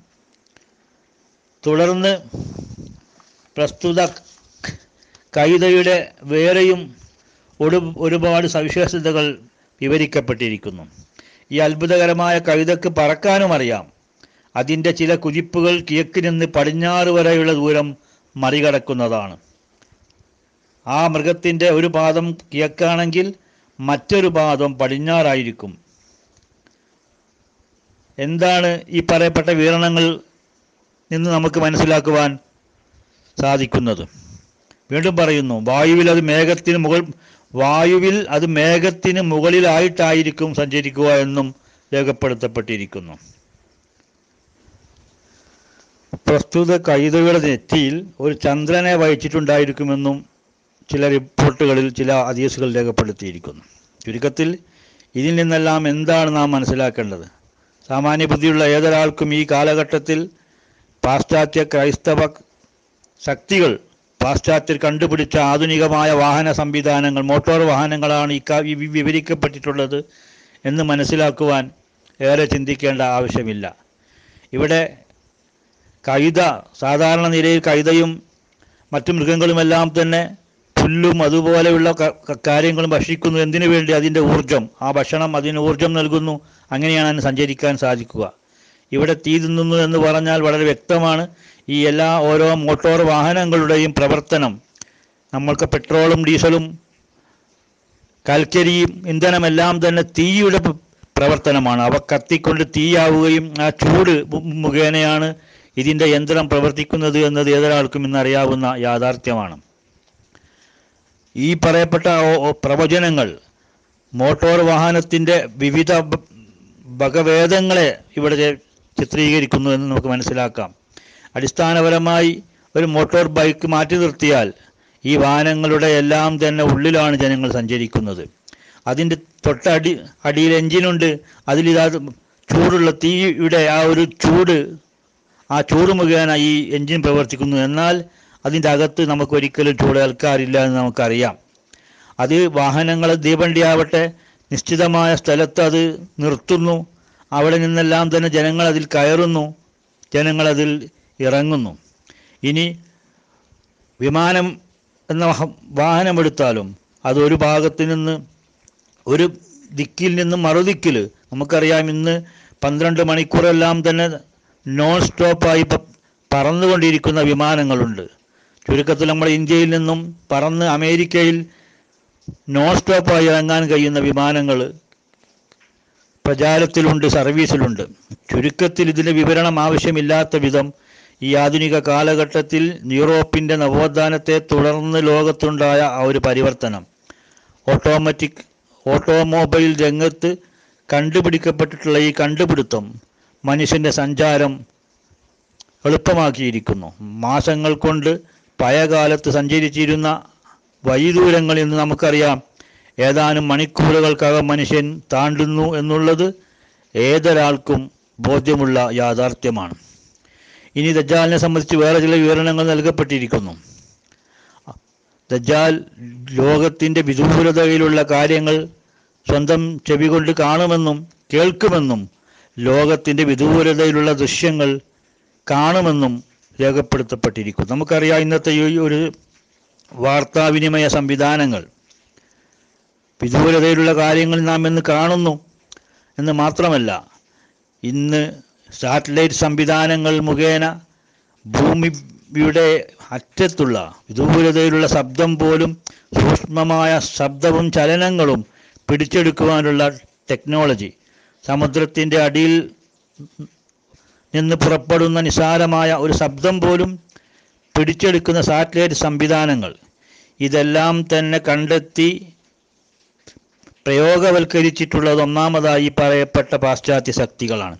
ദജാലിനെ കൊണ്ട് ഞാൻ ഇവിടെ പറയുകയുണ്ടായി. ദജാലിന്റെ പുറപ്പാട് കൊണ്ട് വിവരിക്കപ്പെട്ടിട്ടുള്ളത് പാശ്ചാത്യ ക്രൈസ്തവ ശക്തികളുടെ ലോകവ്യാപകമായ വ്യാപനവും അവരുടെ ഇത്തരത്തിലുള്ള പുരോഗതിയും കണ്ടുപിടുത്തങ്ങളും സഞ്ചാരങ്ങളും എല്ലാം ഉൾക്കൊള്ളുന്ന ഈ ഒരു പുതിയ ഒരു മുന്നേറ്റത്തെ സംബന്ധിച്ചുള്ള വിവിധ രൂപത്തിലുള്ള വിവരണങ്ങളാണ് നബീരു തിരുമേനി ഇവിടെ നൽകിയിട്ടുള്ളത്. ചില കാര്യങ്ങൾ അവരെ തിരിച്ചറിയുവാനും അവരുടെ കാലഘട്ടത്തിലെ സവിശേഷതകളാണ് വിവരിക്കപ്പെട്ടിട്ടുള്ളത്. അതൊരു ഫിത്തനയാണ് എന്ന് നബി തിരുമേനി പറഞ്ഞിട്ടില്ല എന്നുകൂടി നാം ഇവിടെ മനസ്സിലാക്കണം. കാരണം അത് അങ്ങനെ ഒരു സംശയം ഉണ്ടാവാം. ഈ ദജ്ജാലിന്റെ വാഹനത്തിൽ നമുക്ക് കയറാൻ പറ്റുമോ എന്നും മറ്റും. ഇവിടെ ദജാലിന്റെ മതവിശ്വാസമാണ് അവരുടെ സംസ്കാരമാണ് നമ്മെ സംബന്ധിച്ചിടത്തോളം വിനയായിട്ടുള്ളത് അത് അതാണ് നാം വർജിക്കേണ്ടത് അവരുടെ കണ്ടുപിടുത്തങ്ങൾ അവരുടെ ഇടത് കണ്ണ് തീക്ഷ്ണമാണ് എന്ന് നബിൻ തിരുമേനി പറയുകയുണ്ടായിട്ടുണ്ട്. ഭൗതികമായ അവരുടെ കണ്ടുപിടുത്തങ്ങൾ ലോകത്തിന് പ്രയോജനം ചെയ്യുന്നതാണ്. അത് നമുക്ക് പ്രയോജനം അതിൽ നിന്ന് പ്രയോജനം എടുക്കാമെന്ന് തന്നെ നബി തിരുമേനി അവരുടെ ഇടത് കണ്ണ് തീക്ഷ്ണമാണെന്ന് പറഞ്ഞതിൽ നിന്നും. ഭൗതികമായ അവരുടെ കാഴ്ചപ്പാടുകൾ നമുക്ക് പ്രയോജനകരമാണ്. തെറ്റല്ല അത് ക്ലിപ്തമായ കാഴ്ചയാണ് എന്ന് പറഞ്ഞിരിക്കുന്നു. അപ്പോൾ ഭൗതികമായി ഈ പറയപ്പെട്ട ഇവരുടെ പുരോഗതിയെ ഇവർ തിരിച്ച് ഈ കാലഘട്ടത്തിൽ ഈ ശക്തിയെ തിരിച്ചറിയുവാൻ വേണ്ടി നബി തിരുമേനി ഓരോന്നോരായി നന്നായി നമുക്ക് പറഞ്ഞു തന്നിരിക്കുകയാണ് എന്നുകൂടി നാം ഇവിടെ മനസ്സിലാക്കേണ്ടിയിരിക്കുന്നു. അതീസുകൾ അതീസുകൾ വിവരിക്കപ്പെട്ടിട്ടുള്ള മറ്റു ചില വിവരണങ്ങൾ കൂടി നാം ഇവിടെ ശ്രദ്ധിക്കുക. ദജ്ജാൽ മഴ പെയ്യാൻ ആകാശത്തോട് കൽപ്പിക്കുമ്പോൾ ആകാശം മഴ പെയ്യിപ്പിക്കുന്നതാണ്. മുളപ്പിക്കുക എന്ന് ഭൂമിയോട് കൽപ്പിക്കുമ്പോൾ ഭൂമി മുളപ്പിക്കുന്നതാണെന്ന് പറയപ്പെട്ടിരിക്കുന്നു. ദജാൽ പായ് ഭൂമികളിൽ കൂടി നടക്കുമ്പോൾ ആ ഭൂമിയുടെ അടിയിലുള്ള നിധി നിക്ഷേപങ്ങൾ റാണി ഈച്ചയെ തേനീച്ച പിൻപറ്റുന്നത് പോലെ ദജ്ജാലിനെ പിൻപറ്റുമെന്ന് രേഖപ്പെടുത്തപ്പെട്ടിരിക്കുന്നു. അതേപോലെ അവന്റെ കൂടെ റൊട്ടിയുടെ മലയും വെള്ളത്തിന്റെ നദികളും ഉണ്ടാകുമെന്നും ദജ്ജാലിന്റെ നെറ്റിയിൽ കാഫറ എന്ന് എഴുതപ്പെട്ടിരിക്കുന്നു എന്ന് മാത്രമല്ല എഴുത്തറിയുന്നവനും അറിയാത്തവനും അത് വായിക്കുവാൻ കഴിയുമെന്നുകൂടി തിരുവചനങ്ങളിൽ നമുക്ക് കാണുവാൻ സാധിക്കുന്നതാണ്. അവന്റെ കൂടെ സ്വർഗ നരകങ്ങളുണ്ടായിരിക്കുമെന്നും അവന്റെ നെ ഭയപ്പെടുന്നവർക്ക് അവൻ ഈ ഭൂമിയിൽ സ്വർഗം നൽകുമെന്നും അവനെതിരെ നിന്ന് അവന് വഴിപ്പെടാത്തവരെ അവൻ തന്റെ കയ്യിലുള്ള നരകത്തിൽ പ്രവേശിക്കുമെന്നും പിക്കുമെന്നും ഏതൊരാൾ ദജാലിന്റെ സ്വർഗത്തിൽ ഈ ഭൂമിയിൽ പ്രവേശിക്കുന്നുവോ അവൻ അള്ളാഹുവിന്റെ പക്കൽ നരകസ്ഥരായിരിക്കുമെന്നും ഏതൊരു കൂട്ടർ അള്ളാഹു ദജാലിന്റെ നരകത്തിൽ ഈ ഭൂമിയിൽ പ്രവേശിക്കുന്നുവോ? അവരായിരിക്കും അള്ളാഹുവിന്റെ പക്കൽ സ്വർഗസ്ഥരായി തീരുക എന്നും നമുക്ക് കാണുവാൻ കഴിയുന്നതാണ്.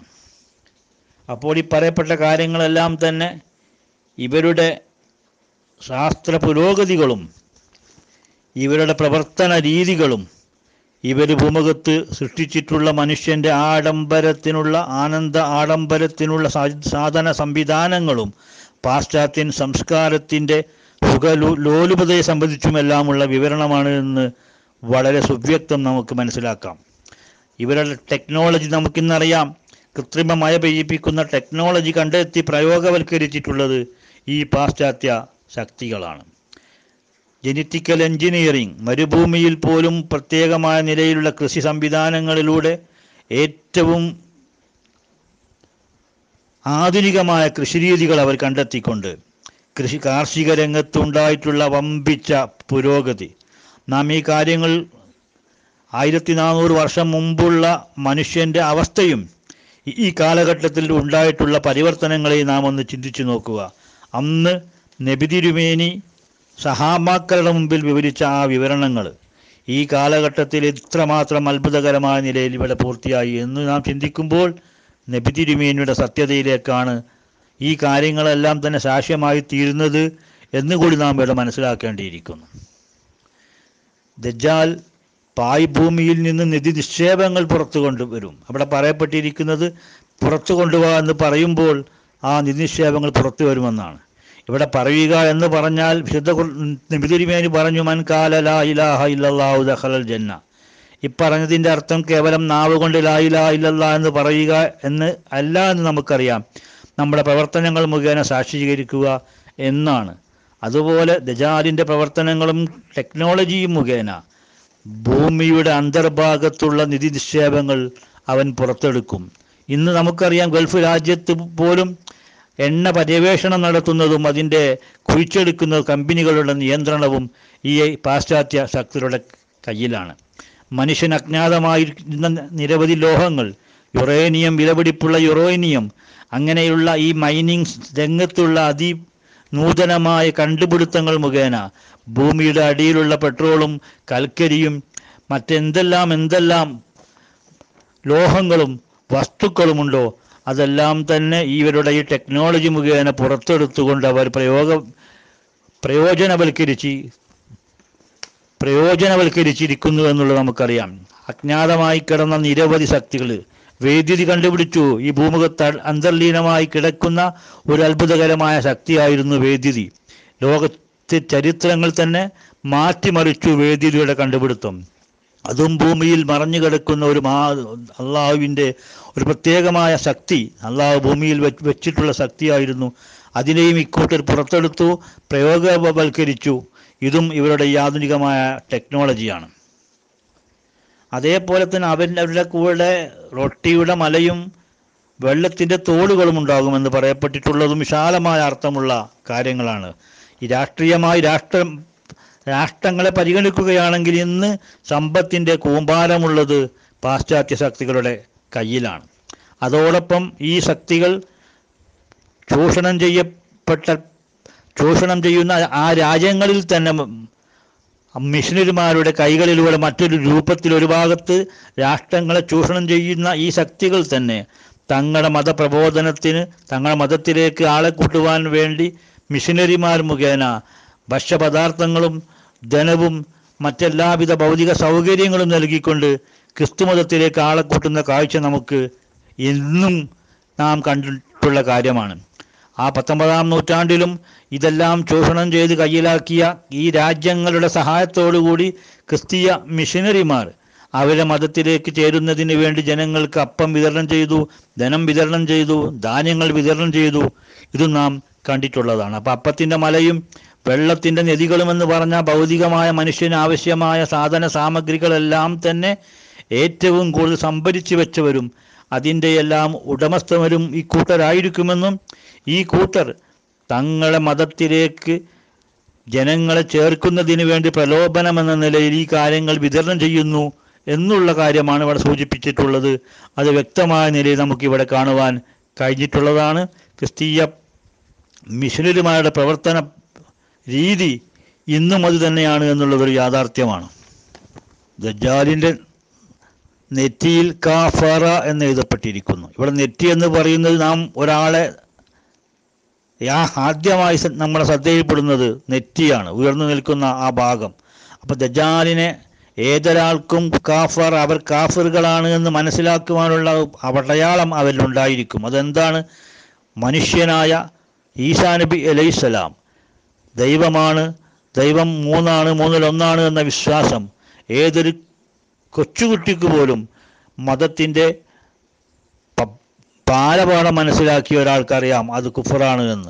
അള്ളാഹ്ക്ക് മകനുണ്ട് എന്ന വിശ്വാസം ഏറ്റവും വലിയ കുഫറാണെന്ന് ഖുർആൻ പറയുകയും ബുദ്ധിപരമായി തന്നെ ഏതൊരാൾക്കും മനസ്സിലാക്കുന്ന ആ കുഫർ അവരുടെ നെറ്റിയിൽ ഉണ്ടാകും. അത് അയിത്ത അറിയുന്നവനും അറിയാത്തവർക്കും മനസ്സിലാക്കുന്ന തരത്തിലുള്ള ഒരു അടയാളമാണ് അതേപോലെ തന്നെ അവരുടെ കുരിശിന്റെ അടയാളം. മനുഷ്യവംശത്തെ പാപത്തിൽ നിന്ന് രക്ഷപ്പെടുത്തുവാൻ വേണ്ടി ഈസാ നബി കുരിശിൽ മരിച്ചിരിക്കുന്നു എന്ന വിശ്വാസം. ഈ കുരിശ് അടയാളം ഭൂമുഖത്ത് അവരെവിടെ തന്നെ പ്രവേശിച്ചുവോ അവിടെയെല്ലാം തന്നെ അടയാളം എന്ന നിലയിൽ തന്നെ ഇവർ കുരിശ് നാട്ടും. അത് കുഫറിന്റെ വ്യക്തമായ ഒരു അടയാളമാണ് എന്ന് മനസ്സിലാക്കുവാൻ ആർക്കും തന്നെ യാതൊരു പ്രയാസവുമില്ലാത്ത ഒരു കാര്യമാണ്.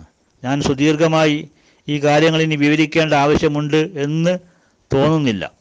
ഇനി മറ്റൊരു കാര്യം ബാബുൽ ഉദ്ദിൽ വെച്ച് ദജ്ജാലിനെ കൊല്ലുമെന്ന് നബി തിരുമേനി സല്ലല്ലാഹു അലൈഹി വസല്ലമ അരുളിയിരിക്കുന്നു. എന്താണ് ബാബുൽ ഉദ്? ഇവിടെ ഒരു കാലം അസിരിക്കിലും മറുകാലം അഹരിവിലുമുള്ള ഭീകരമായ ഒരു സത്വമാണ് എങ്കിൽ ഏത് ഈ ബാബുൽ ഉദ്ദിൽ വെച്ചുള്ള അതിന്റെ വധം എന്താണ് എന്നും കൂടി നാം ചിന്തിക്കുക. ബാബുൻ എന്ന് പറഞ്ഞാൽ വാതിൽ ലുദ് എന്ന് പറയുന്നത് തർക്കം വിവാദം എന്നാണ് അപ്പൊ തർക്കരംഗത്ത് വിവാദ രംഗത്താണ് ദജ്ജാലിനെ കൊല്ലുക എന്ന് നബ്ദിരിമേനി പഠിപ്പിച്ചിട്ടുള്ളതിൽ നിന്നു തന്നെ ദജ്ജാൽ എന്ന് പറയുന്നത് ഒരു സിദ്ധാന്തത്വമായി ഒരാശയവുമായി ലോകത്ത് വരുന്ന ഒരു മഹാശക്തിയും സമൂഹമാണെന്ന് നമുക്ക് മനസ്സിലാക്കാം.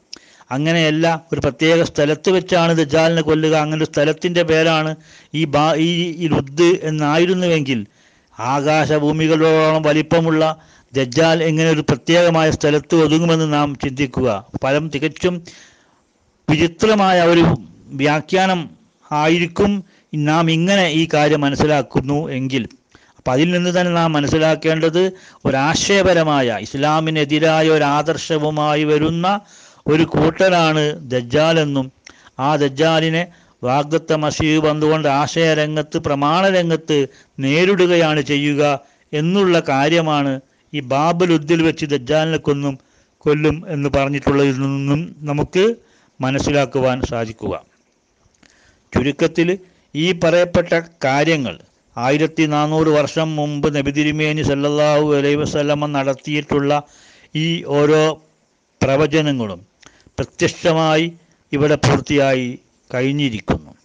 ഈ ഒരു യാഥാർത്ഥ്യം മുസ്ലിം പണ്ഡിതന്മാരിൽ വലിയൊരു വിഭാഗം മനസ്സിലാക്കുകയും ചിലരൊക്കെ അവരുടെ ഗ്രന്ഥങ്ങൾ രേഖപ്പെടുത്തുകയും ചെയ്തിട്ടുണ്ട് എന്നുകൂടി ഞാനിവിടെ സൂചിപ്പിക്കുകയാണ്. ഉദാഹരണമായി റാബിത്തത്തുൽ ആലമിൽ ഇസ്ലാമിക്ക് വേണ്ടി പരിശുദ്ധ ഖുർആന്റെ ഇംഗ്ലീഷ് പരിഭാഷ തയ്യാറാക്കിയ മുഹമ്മദ് അസദ്. അദ്ദേഹം സുദീർഘമായി മക്കയിലും മുസ്ലിം രാജ്യങ്ങളിലും സഞ്ചരിക്കുകയും താമസിക്കുകയും ചെയ്തിട്ടുള്ള ഒരു മഹാവ്യക്തിത്വമാണ്. അദ്ദേഹത്തിന്റെ ആ ഒരു അനു അനുഭവക്കുറിപ്പുകളാണ് മക്കയിലേക്കുള്ള പാത എന്ന വിഖ്യാതമായ പുസ്തകത്തിൽ രേഖപ്പെടുത്തപ്പെട്ടിട്ടുള്ളത്. പ്രസ്തുത പുസ്തകത്തിൽ ദജ്ജാൽ എന്ന ഒരു അധ്യായം നിങ്ങൾക്ക് കാണുവാൻ കഴിയുന്നതാണ്. ആ വിവരണം മക്കയിലെ ആ കാലഘട്ടത്തിലെ സമുന്നത പണ്ഡിതനായിരുന്ന ഇബ്നു ബുലൈഹിദ് എന്ന് പറയുന്ന ആ കാലഘട്ടത്തിലെ ഗ്രാൻഡ് മുഫ്തി അദ്ദേഹത്തിന്റെ സദസ്സിലിരുന്നു കൊണ്ട് മുഹമ്മദ് അസദ് ദജ്ജാലിനെ സംബന്ധിച്ച് വിവരിച്ചിട്ടുള്ള കാര്യങ്ങൾ അദ്ദേഹം തന്നെ മക്കയിലേക്കുള്ള പാത എന്ന പുസ്തകത്തിൽ രേഖപ്പെടുത്തിയിട്ടുണ്ട്. ഞാൻ ഈ പറഞ്ഞ കാര്യങ്ങൾക്കെല്ലാം തന്നെ ഈ വ്യാഖ്യാനങ്ങൾ വ്യക്തമായി മുഹമ്മദ് അസദ് ഈ ഇബിന് ബുലൈദ് എന്ന് പറയുന്ന സൗദി അറേബ്യയിലെ ഗ്രാൻഡ് മുഫ്തിക്ക് മുമ്പിൽ വിവരിക്കുകയും ആ ഗ്രാൻഡ് മുഫ്തി ഇബിന് ബുലഹീദ് മുഹമ്മദ് അസദിന്റെ വിവരണം കേട്ടുകൊണ്ട് ആവേശഭരിതനായി അറബികളുടെ ശൈലിയിൽ കൈകൾ തുടയിൽ അടിച്ചുകൊണ്ട് മുഹമ്മദ് നീ പറയുന്നത് ശരിയാണ് നീ പറയുന്നത് ശരിയാണ് മുഹമ്മദ് എന്ന് പറഞ്ഞുകൊണ്ട് സാക്ഷ്യപ്പെടുത്തുന്നതുമായി പ്രസ്തുത പുസ്തകത്തിൽ നിങ്ങൾക്ക് വായിക്കുവാൻ കഴിയുന്നതാണ്. അദ്ദേഹം പറയുകയാണ് ഈ പാശ്ചാത്യ ശക്തികളെ സംബന്ധിച്ച വളരെ കൃത്യമായ ഒരു വിവരണമാണ് ഇവിടെ നീ നൽക നൽകപ്പെട്ടിട്ടുള്ളത് എന്നും എന്നാൽ നാളിതുവരെ ഈ നിലയിൽ ഈ കാര്യത്തെ നോക്കിക്കാണുവാൻ എനിക്ക് സാധിച്ചിട്ട് സാധിച്ചിട്ടുണ്ടായിരുന്നില്ല എന്ന് പറഞ്ഞുകൊണ്ട് മുഹമ്മദ് അസദിന്റെ ഈ സം ഇത് സംബന്ധമായ വിവരണത്തെ അദ്ദേഹം ശരിവെക്കുന്നു എന്ന് മക്കയിലേക്കുള്ള പാത എന്ന പുസ്തകത്തിൽ നിങ്ങൾക്ക് രേഖപ്പെടുത്തിയതായി കാണുവാൻ കഴിയും. ഈ ഒരു ഈ ഒരു പ്രവചനം ഇതിന്റെ പുലർച്ച നാം ഇന്ന് ലോകത്തിന്റെ മുമ്പിൽ സമർപ്പിക്കുകയാണ് എങ്കിൽ നമുക്കറിയാം ഈ അടുത്ത കാലത്ത് യുക്തിവാദിയായ ജബ്ബാർ വെല്ലുവിളിക്കുകയുണ്ടായി. പതി ആറാം നൂറ്റാണ്ടിൽ അറബികൾക്ക് അറിയാത്ത എന്തെങ്കിലും ഒരു കാര്യം പരിശുദ്ധ ഖുർആാനിൽ നിങ്ങൾക്ക് കാണുവാൻ കാണിക്കുവാൻ സാധിക്കുമോ എന്ന് വെല്ലുവിളിക്കുകയും ആ വെല്ലുവിളി ഏറ്റെടുത്തുകൊണ്ട് എം എം അക്ബർ സാഹിബ് സൂറത്തു നൂറിലെ സമുദ്രത്തിലെ അന്ധകാരങ്ങളെ സംബന്ധിച്ച ചില ഉദാഹരണങ്ങൾ എടുത്തുകൊണ്ട് സമർപ്പിക്കുകയുണ്ടായി. അവിടെ ജബ്ബാർ പരാജിതനായതായിട്ട് വിശ്വാസികളായ നമ്മളെല്ലാം തന്നെ മനസ്സിലാക്കും. ഞാൻ പറഞ്ഞു വരുന്നത് ഈ ഒരു പ്രവചനത്തിൽ ആയി നൂറുകണക്കിന് പ്രവചനങ്ങളാണ് ദജ്ജാലുമായി ബന്ധപ്പെട്ട നബി വചനങ്ങൾ ഇവിടെ പൂർത്തിയായിട്ടുള്ളത്. ഈ കാര്യങ്ങളെല്ലാം തന്നെ ഒരു വിഭാഗം മുസ്ലിം പണ്ഡിതന്മാർ മനസ്സിലാക്കിയെങ്കിലും ദജ്ജാലുമായി ബന്ധപ്പെട്ട് വാഗ്ദത്ത മസീന്റെ ആഗമനമുണ്ടാകണം എന്നുള്ള പ്രവചനം അപ്പോൾ ദജ്ജാൽ വെളിപ്പെട്ടു എന്ന് സമ്മതിക്കുകയാണ് എങ്കിൽ അഹമ്മദിയ ജമാഅത്തിന്റെ വിശ്വാസങ്ങൾ ശരിവെക്കേണ്ടതായി വരികയും മിർസ ഗുലാം അഹമ്മദ് അലൈഹിസ്സലാം ആ പ്രവചിക്കപ്പെട്ട മഹദിയും അസിയുമാണ് എന്ന യാഥാർത്ഥ്യം സമ്മതിക്കേണ്ടി വരുമെന്നുള്ള ആ ഒരു ഒറ്റ കാരണത്താലാണ് ഇസ്ലാമിനും മുസ്ലിമീങ്ങൾക്കും നബിതിരുമയുടെ സത്യതക്കും മഹത്തായ അടയാളമായി തീരുന്ന ഈ കാര്യങ്ങൾ ലോകത്തിന്റെ മുമ്പിൽ അവതരിപ്പിക്കുവാൻ ഈ കാലഘട്ടത്തിലെ പണ്ഡിതന്മാർ അറച്ചു നിൽക്കുന്നത് എന്ന യാഥാർത്ഥ്യം കൂടി നിങ്ങൾ മനസ്സിലാക്കണം. അങ്ങനെ ഈ ഒരു പ്രവചനങ്ങളെ നാം അവതരിപ്പിക്കുകയായിരുന്നുവെങ്കിൽ ജാമിത ജബ്ബാറുമാർക്കും അതേപോലെ സബാസ്റ്റ്യൻ പുന്നക്കലപ്പിനെ പോലെയുള്ള വിമർശകർക്കെല്ലാം തന്നെ ഇസ്ലാമിന്റെ സത്യതയ്ക്കുള്ള മഹത്തായ അടയാളങ്ങളായി ഈ കാര്യങ്ങൾ അവതരിപ്പിക്കുവാൻ നമുക്ക് സാധിക്കുമായിരുന്നു. അതോടൊപ്പം നാസ്തികരും സന്ദേഹവായി സന്ദേഹവാദികളുമായി മാറിക്കൊണ്ടിരിക്കുന്ന മുസ്ലിം യുവതക്ക് വിശ്വാസത്തിന്റെ അമൃതായി മാറുന്ന ഈ വിജ്ഞാനങ്ങൾ നൽകിക്കൊണ്ട് നിരീശ്വരത്വത്തെയും ഇസ്ലാമിന്റെ ശത്രുക്കളുടെ വാദഗതികളെയും വാഴടപ്പിക്കുവാൻ കഴിയുമായിരുന്ന ഈ ഒരു സത്യത്തെ അഹമ്മദിയ ജമാഅത്തിന്റെ സത്യം വെളിപ്പെട്ടു പോകും. അതു മുഖേന തങ്ങളുടെ കാലിന്റെ അടിയിൽ മണ്ണൊഴുകിപ്പോകുമെന്ന ആ ഒരു ഭീതി നിമിത്തമാണ് ഈ കാലഘട്ടത്തിലെ പണ്ഡിതന്മാർ പലരും സത്യമറിയാം എന്നിരുന്നിട്ട് കൂടി മൗനം പൂളുന്നത് എന്ന യാഥാർത്ഥ്യം സത്യാന്വേഷികളുടെ മുമ്പിൽ വെച്ചുകൊണ്ട് ഞാൻ എന്റെ ഈ ഒരു സംസാരം അവസാനിപ്പിക്കുകയാണ്. ചുരുക്കത്തിൽ ഈ പറയപ്പെട്ട മുഴുവനും ലക്ഷണങ്ങളും ആധുനിക കാലഘട്ടത്തിൽ ലോകവ്യാപകമായി സഞ്ചാരം നടത്തി ലോകം കീഴടക്കി ഇസ്ലാമിനെതിരായി ഈ ഇരച്ചു വന്നിട്ടുള്ള ഈ പാശ്ചാത്യ ക്രൈസ്തവ ശക്തികൾ പൂർത്തിയായിരിക്കുന്നു എന്ന കാര്യം നിങ്ങളുടെ ശ്രദ്ധയിൽപ്പെടുത്തിക്കൊണ്ട് ഞാൻ നിർത്തുന്നു. അസ്സലാമു അലൈക്കും വറഹമത്തല്ലാഹി വബർക്കാത്തു